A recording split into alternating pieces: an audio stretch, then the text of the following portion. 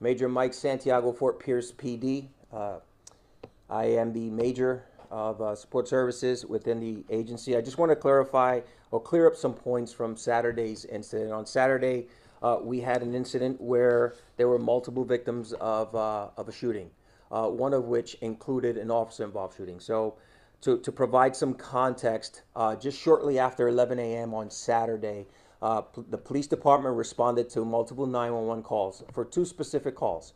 Uh, one was a call that uh, referred to a male, an adult male with a gunshot wound, and that was uh, located at the 1400 block of 23rd Street, North 23rd Street. Uh, the second call, which came in almost simultaneously, was a call of a theft of a vehicle, uh, which occur- occurred at the 2100 block of North, excuse me, Avenue N. So officers are responding to both of these calls. They arrive to these scenes. They see a male, in fact, suffering from a gunshot wound. Uh, while while there, they hear additional shots being fired just northwest of their location. Officers now advance towards the shots to determine what was going on.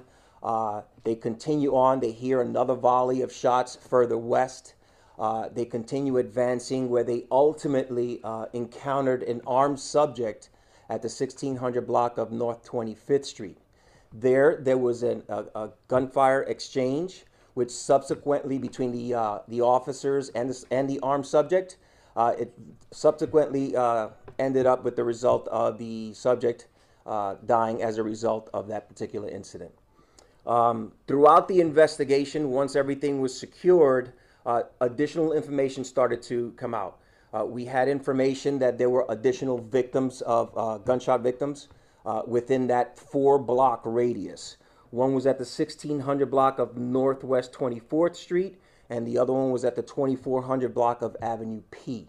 Uh, what we're looking at right now is trying to determine if all these incidents are connected. Um, right now, what we can definitively say is, is that that car theft was connected uh, to the uh, officer involved shooting. Uh, we know that that was the same subject of the car theft, but right now we're trying to determine if the other incidents are in fact involved. Uh, just to step back a little bit, right after the uh, the uh, exchange of fire at the 1600 block of 25th Street between the officers and the subject, I want to let you know that the officers did in fact begin CPR, started first aid, rendered first aid uh, to that individual prior to them uh, that person being transported to to the hospital. Um, it is important to highlight the dangers that these officers go through on a daily basis. They're responding to particular calls while they're there, they're hearing additional gunshots and they're actually advancing to the gunfire to try to determine what is actually going on. Um, that unfortunately led the officers to use force to, to neutralize that particular threat. Uh, just to, to make everybody aware that the floor, as a result of uh, protocol and, and practice, uh, the Florida Department of Law Enforcement is handling uh, the the uh, case where the officers used force. They do investigate that. The Fort Pierce Police Department is taking lead on the other cases in conjunction with the state attorney's office. Um, victim information will not be released at this time, uh, pending next of kin notification and other issues related to the case itself. Uh, the suspect was uh, identified as 28 year old Bernard Smith. Um, we don't have a last known address, but we do know that he frequents the area in the city of Fort Pierce. That's essentially what I have at this point. Um, uh, hopefully that clears up a little bit from what was, was relayed on Saturday. Understand that this is a very dynamic case. It's, it's complex and multifaceted. So because of that, we're trying to ensure that everything is done uh, in accordance with the law and we're, we're protecting the integrity of the case itself. So there was two deceased individuals, well, three in total, but was there another individual that was wounded by gunfire? There was a total of three individuals um, that were injured as a result of gunfire. Uh, I'm sorry. Uh, two of which, three, th- there were three victims that died as a result of gunfire. One of which is still alive. I'm sorry. There's- So a total of four victims. Okay, so the, the two deceased individuals that were found at the After, so we have the first person that was that we responded to was the first gunshot wound. That person is still alive. Uh, that person is in serious condition at Lawnwood Medical Center. That was the very first call. The second one was the subject himself. W- That was the car theft, That was or related to the car theft. related to the car theft, but uh, resulted in the officer involved shooting. Then we have two additional victims that were found while the investigation was being conducted, while we were in place. Uh, we're trying to determine if all of those are connected to this particular subject. Do you know yet if at least that first victim, the one that's now at HCA Florida Lawnwood, do you believe that that person was shot by the person who was involved in that officer's shooting? It's unknown at this time because the person at the hospital is unable to speak to us. So the moment that we have an opportunity to, to question the victim in that case, then we'll find out uh, additional information. So just to be totally clear, none of the other three victims, aside from the actual suspect himself, are confirmed to have been shot by that same suspect who engaged in gunfire with police. It's too early to determine that right now. The, as the investigation unfolds, we'll be able to provide that information if, in fact, they're linked. Uh, but right now, it's too early in the investigation. And the car theft, um, you said it was the 2100 block of Avenue N. Is that where the car was stolen from, or where the car ended up? Avenue N. That was where the car was initially stolen from. And that you believe that the suspect who engaged in gunfire with officers had stolen it from that area and then drove it to the area where he then later The, engaged the in. yes, the car was was essentially found, uh, ultimately found. The stolen car was ultimately found at the uh, the uh, the sixteen, I believe, the sixteen hundred block of 20, uh, 24th Street was where the car, the stolen car, was located.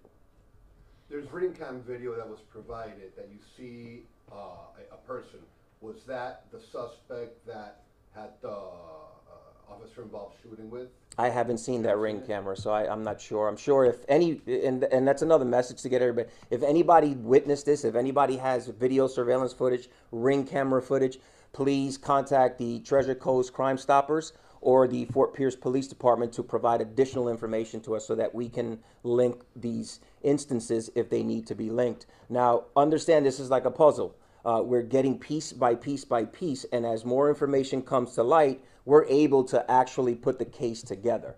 Uh, but right now, for the, the protection and the integrity of the case itself, I'm not at liberty to divulge certain details. Now, Bernard Smith, you said you, you can't find an address for him here, but does he have any history with police prior to the officer involved shooting? Yes, he does have a history, uh, uh, violent history. Uh, I believe the last uh, thing he had was uh, carrying a firearm. So there is a violent history in, in this particular uh, subject's past. Um, we don't know if that was part of what's going on today, uh, Saturday, uh, but we're looking into that. Detectives are uh, looking into every aspect. We're exploring every avenue to ensure that this case is done uh, in accordance with the law. Did he say anything to officers at the time? You know, when he exchanged gunfire, uh, did he say anything to them? Anything that would have indicated why he had a gun and was in that neighborhood? I don't have that information right now. Is it, how many officers are involved? Is it one officer? We have no multiple multiple officers were involved in the shooting. Uh, we're still trying to review everything that is related to that, understanding that yes, we do have body cameras, we do have video surveillance in the area. That takes hours and hours and hours of review for us to be able to determine exactly what transpired at that time. So we are sifting through that. The, the detectives are tirelessly working on this case. Uh, they have not stopped since Saturday, and I don't anticipate them stopping. So we will continue investigating this case properly until that time comes where we have more information for you. All these events happened in a time, fr- in a window of how many minutes? From the initial call until, Well, we're looking at the initial call just after 11 a.m. So we're looking at about maybe 30, 30 minutes, 30 to 35 minute time frame that this entire thing actually occurred. So- How, how so- many officers are actually on administrative leave? There are three officers on administrative leave. So, so does that, if three officers are on administrative leave, does that mean that the, there are at least three officers who discharge their firearms? No, it does not. It just ne- it just essentially means that there was a traumatic experience. Uh, a u- force was used, and the chief of police deems it necessary to ensure that uh, the officers are given the time that they need to be able to process a lot of this stuff. folks, I, I, I can't stress enough how stressful this is to these officers as they're out there on the streets. If they're involved in the shooting, if they're shot at, or if they're encountering any type of stress like that, it takes a toll. It takes a very, very heavy toll. The last thing that the officers want to do is have to fire their weapons. They were forced to in this situation, and it is important for us to identify with that. So more, is it fair to say that more than one officer fired their firearms? Multiple officers fired their firearms, yes. Okay. Did the suspect fire at the officers? That is still being reviewed. How, how did you tie Bernard? I can, I can tell you that there was an exchange of gunfire. How did you tie Bernard to the carjacking? Video. That's. And it was not a carjacking, it was just a theft. A theft of a vehicle, yes. I wanted to clarify that point from Saturday. Originally, the call did come out as a carjacking, but the, the investigation deemed it to be a, an auto theft itself. You mentioned that he has, you know, kind of a prior criminal record. Do you know if he's had any history of, of mental health issues, such as being Baker Acted before, or you know, kind of being involved in the court system to that degree? I do not have that information, no. Do you know if he has any family local? I have, I do not have that information. I, I, again, as the case unfold, we will be able to provide additional information. I just wanted to provide you with the roadmap because I know Saturday was fast moving, and we try to be as transparent and provide as much information as possible without compromising the integrity of the case. Uh, but we've come to a point now where we have provided everything that we can to this point. There will be additional information uh, passed out or, or provided at a later date um, as the case unfolds. But right now, I believe it's entirely too premature to be able to uh, detail certain instances that occurred. So if we would like to, uh, pardon me for the, the description, dumb it down. We're talking about three incidents that could be either two and one separate, three independent, or they're all connected. All of the above. We're exploring every single avenue in order to identify what actually transpired on Saturday. Like I said, it was dynamic, it was fast moving, and it was complex. We have no motive behind the case. At this particular juncture, we have no motive. We have somebody that was involved in an officer involved shooting. We do have that.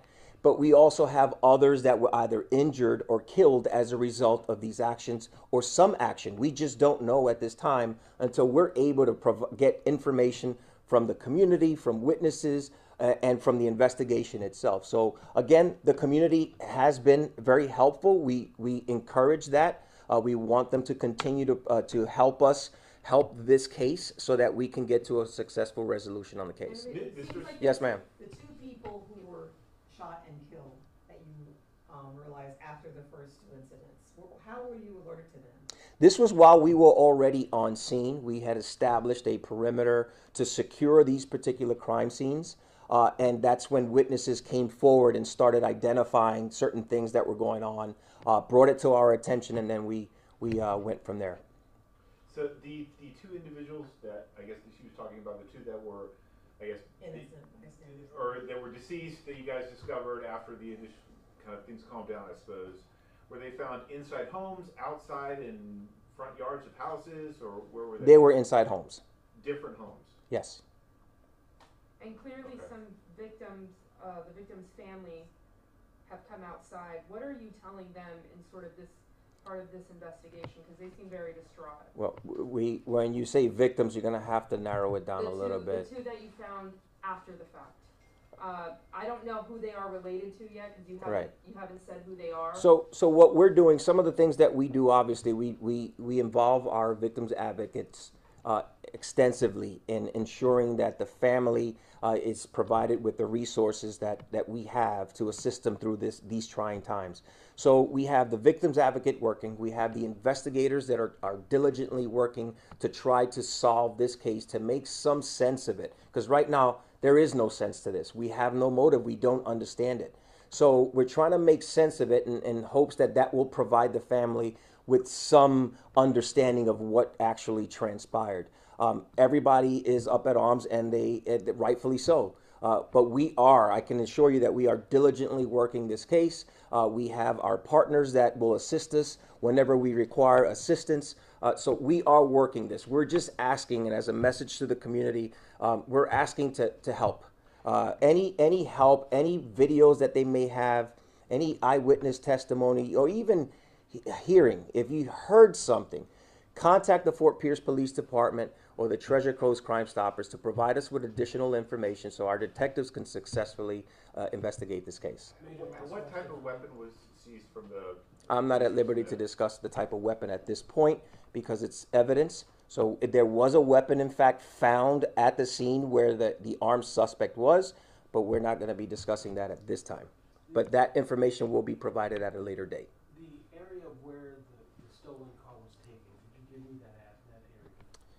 The, the stolen car was at the 2100 block of Avenue N, as in Nancy. That's where it's recovered from?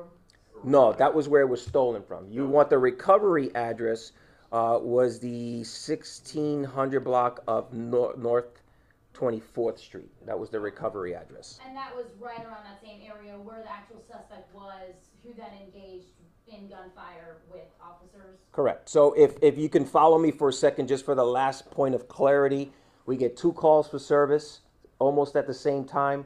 One is a gunshot wound, one is an auto theft. Officers respond to both. While the officers are on the scene, they hear gunshots relatively close, just west of them. They go and advance towards those gunshots to try to determine what's going on. They don't see anybody at that time. They hear another volley of gunshots. They advance again. They encounter, ultimately encounter an armed subject at the 1600 block of 25th Street where there was an exchange of gunfire, which resulted in the death of the armed subject. And that's where we are right now to try to, to keep it as clear as possible. That's where we are. The rest of the details, I don't, I, there's a lot of details that we will provide at a later date, but right now, for the protection and the integrity of the case itself, because it's multifaceted, there's so many moving parts to it, we don't want to step ahead of ourselves by trying to give you something that may change as the case evolves. So this is where we are right now. One last Okay? question for you. Yes. The exchange of gunfire between the officers and Bernard, was that behind the apartment, next to the house? It was at two you locations. keep Twenty-Fifth Street, so I'm thinking, Well, you know, it was Martin Luther King side. the 1600 block of 25th Street, which is going to be on the east side of the road, uh, not on the Right. west side of the Well, road. That's what I mean. There's So a, the- there's a particular apartment building there, and that in that immediate area is where it occurred. Behind there, between that and. Behind and leading up to where it ended up, it, the subject was actually located, and first aid was rendered behind that apartment complex by the fence line. That's where first aid was rendered. But the encounter happened a little bit west of it. The initial encounter with the armed subject. Any chance that exchange of gunfire, one of those stray bullets might have hit an innocent victim bystander in one of the houses around? We don't believe so, but we are, again, explore everything. We do have round accountability where we ensure that whatever we fire or whatever the subject fires, we ensure that we go house to house to check to make sure that that wasn't part of, of the case itself. So um, thus far, again, we're moving forward with the case. We don't believe that to be so, but we don't stop exploring that avenue. Thank you. Okay? Thank you.